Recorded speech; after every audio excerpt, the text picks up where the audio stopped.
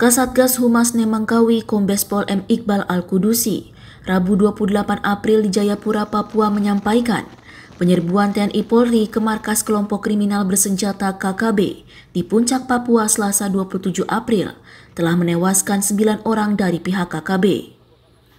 Iqbal menjelaskan, kontak senjata berawal dari pengejaran terhadap kelompok KKB pasca teror di Beuga Aparat langsung melakukan penyerbuan setelah mengetahui lokasi KKB di Olenski. Menurut Iqbal, korban KKB 9 orang dan ada di pihak Polri 3 orang. Setelah penyerbuan tersebut, sisa anggota KKB melarikan diri dan mundur sejauh 1,6 km. TNI Polri menegaskan akan terus mengejar dan menangkap anggota KKB.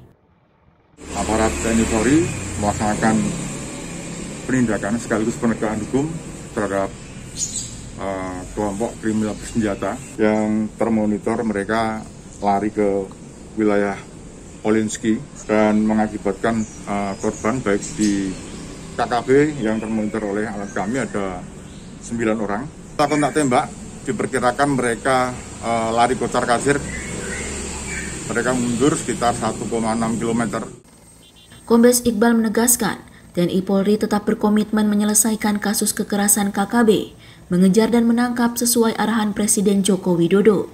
Tidak ada tempat bagi KKB baik di Papua dan daerah lain. Dari Jayapura, Papua, Laksama Hendra, kantor berita antara mewartakan.